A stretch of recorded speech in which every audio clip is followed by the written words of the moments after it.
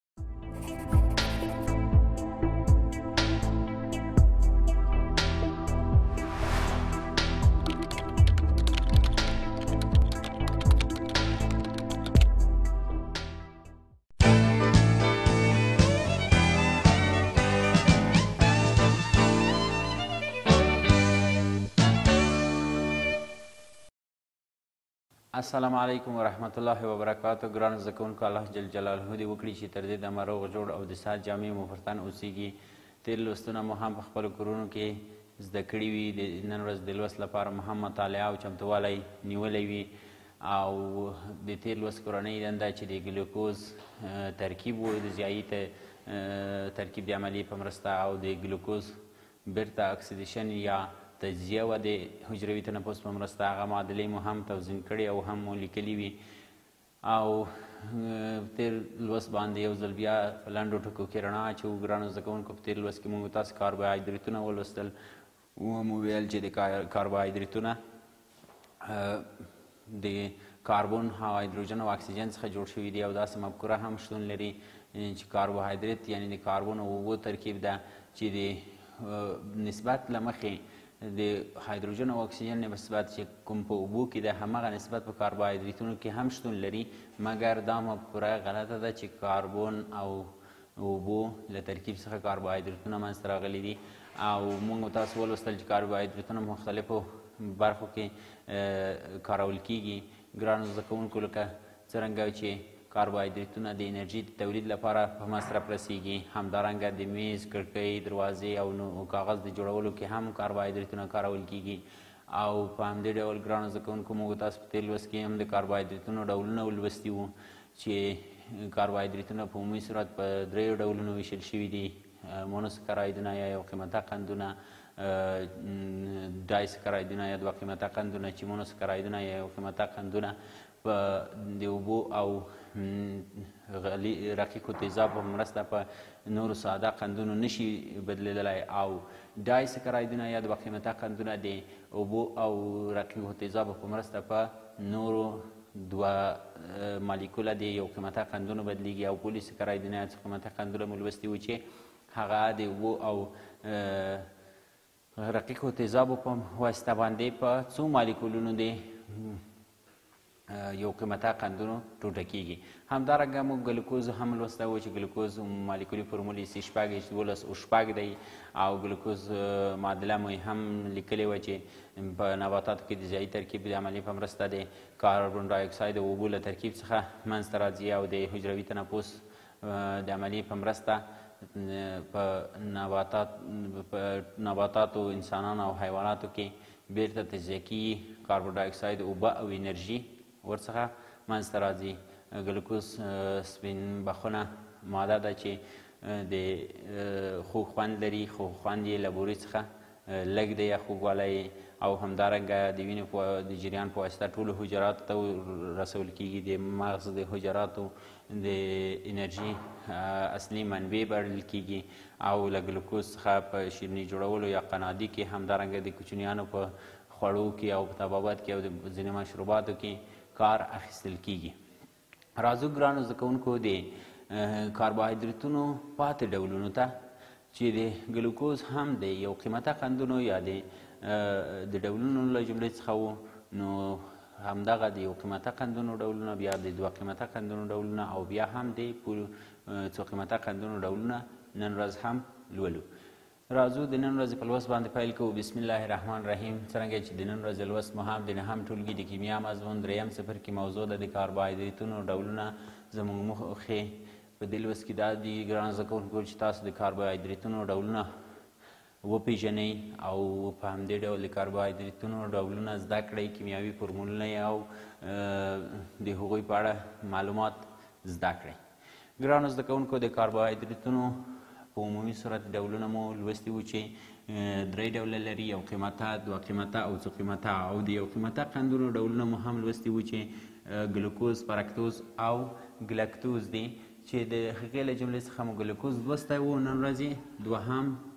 ډول د یو قیمته قندونو فرکتوز لولو فرکتوز فرکتوز چې د مالیکولي فورمول یې د ګلوکوز سره یو شان دی سی شپږ اچ دولس او شپږ دا د ګلوکوز مالیکولي فورمول هم وو د فرکتوز مالیکولي فورمول هم دی او په همدې ډول د ګلکتوز مالیکولي فورمول هم دی دوی یوازې په ساختماني فورمولونو کې یو له بل سره توپیر لري او له ګلوکوز سره یو ځای پیدا کیږي فرکتوز په انګورو او په میوو کې همدارنګه په شاتو کې په پخو شوو میوو کې له ګلوکوز سره یو ځای پیدا کیږي او له ګلوکوز څخه زیات خوږ خوند لري او په اوبو او کې هم حل کیږي پرکتوز مو هم ولوست راځو د دوه قیمته قندونو دوه ډولونه لولو چې د دوه قیمته قندونو له ډولونو څخه سکروز دی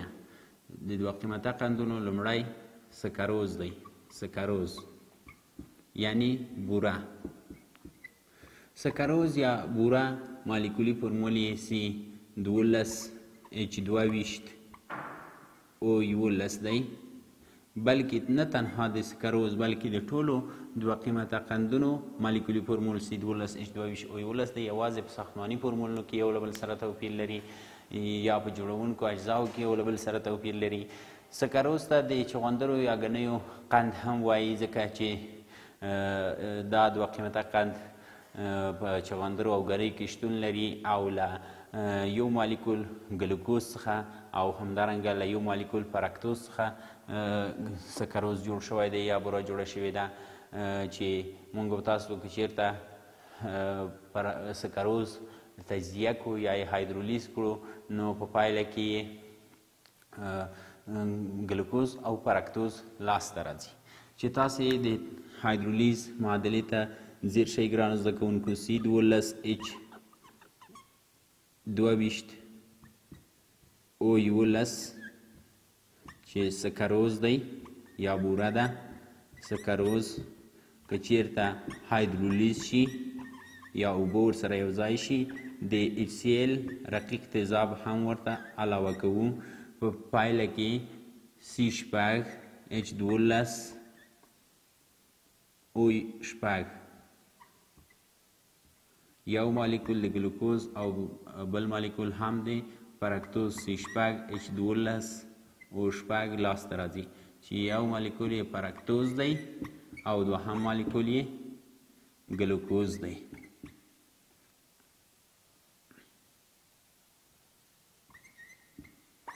ښه ګرانو زده کوونکو د معادلې توزین ته هم تاسو ځیر شئ دولس اتمه کاربن په تعامل کوونکو موادو کې لرو شپږ او شپږ هم دولس په محصول موادو کې دوه ویشت اتمه هایدروجن او دوه اتمه څلور ویشت اتمه هایدروجن په تعامل کوونکو موادو کې دولس او دولس څلور ویشت اتمه په محصول موادو کې یولس اتومه او یو اتوم دولس اتومه اکسیجن په تعامل کوونکو موادو کې شپږ او شپږ اتومه دولس اتومه په محصول موادو کې لرو ګرانو زده کوونکو بوره له ګنیو او چغندرو څخه داسې لاسته راوړي چې لومړی په فشار سره د چغندرو او ګنیو اوبه وباسي وروسته هغه په یو په هغې اوبو کې اوبنه رسېدلې چونه یا ژوندۍ چونه اچوي چې تر څو ژوندۍ چونه هغه پروتیني مواد یا فاضله مواد په بیخ کې ورته رسوب ورکړي او تهنشینې کې بیا وروسته یې له فلتر څخه تیروي او له فلتر څخه تیر شوی محلول یې بیا اخلي او په داسو داسې دیګونو کې اچوي چې هوا پکې نه وي موجوده او هغې ته حرارت ورکوي تودوخه ورته ورکوي تر څو پورې چې د تودوخې په مرسته یې اوبه تبخیر شي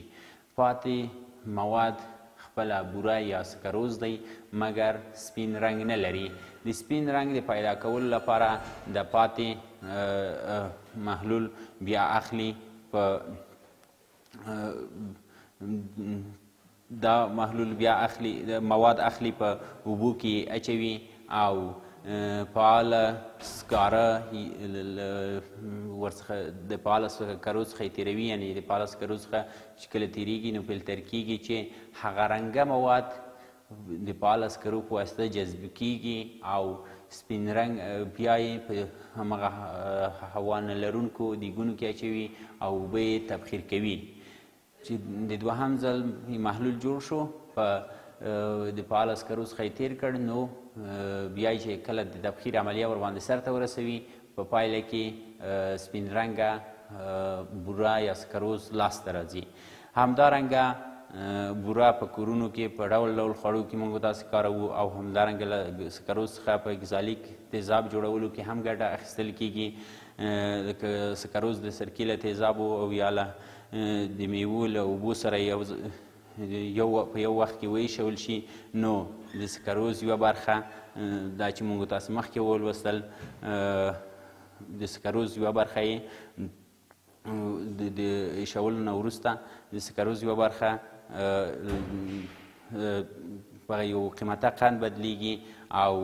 د له سکروز څخه په چاکلېټ جوړولو او همدارنګه په نورو خواږو جوړولو کې کار اخیستل کیږي راځو لکتوز چې د دوه قیمته قندونو دوهم ډول دی هم لولو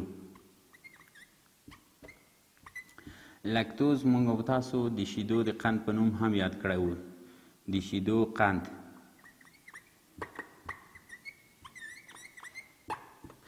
لکتوز د شیدو د قند په نوم هم یادیږي د ټولو حیواناتو په شیدو کې شتون لري چې د انسانانو په شیدو کې شپږ فیصده او د غواګانو په شیدو کې څلور فیصده موجود وي خوږوالی یې نسبت لکتوز ته د لکتوز خوږوالی بورې ته لږ دی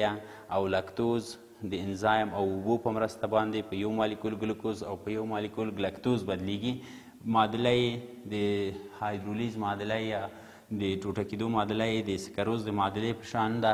یوازې یو مالیکول ګلوکوز او د فرکتوز پر ځای هماغسې شپږ ایچ دولس او شپږ بلکې ګلکتوز ورڅخه یو مالیکول لاسته راځي او راځو څو قیمته قندونو ته چې څو قیمته قندونه هم موږ تاسو په تیر لوستونو کې د کاربوهایدریتونو په ډولونو کې لوستي وو نن ورځ یې د څو قیمته قندونو ډولونه هم په تشریحي ډول لولو څو قیمته قندونه لکه د نوم څخه چې معلومیږي د هغه قندونه دي چې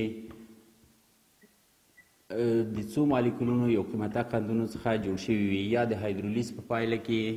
څو مالیکوله یو قیمته قندونه لاسته راشي او عمومي فورمول یې سی شپږ اچ لس او پنځه ان دی مخکې مو هم په تیر لوستونو کې لوستی وو د څو قیمته قندونو که چیرته هایدرولیز شي د هایدرولیز معادله یې په دې ډول ده چې سی شپږ اچ پنځه سی شپږ اچ لس او پنځه ان چې کله د ان مالیکوله اوبو سره یو ځای شي ان تام عدد ده نو په پایله کې ان مالیکوله یو قیمته قندونه لاسته راځي یا مونوسکرایدونه لاسته راځي سی شپږ اچ دولس او شپږ دا یې د هایدرولیز معادله چې دې ته هم په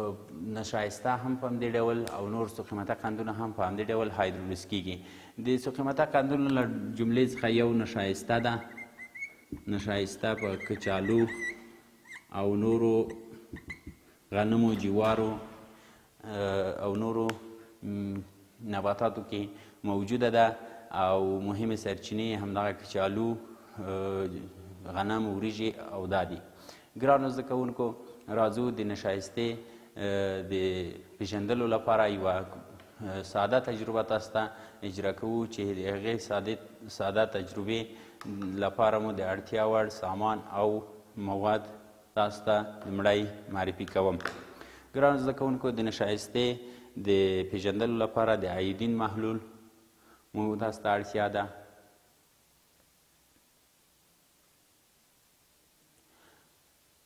د ایودین محلول او په همدې ډول ډراپر یا قطره څڅونکی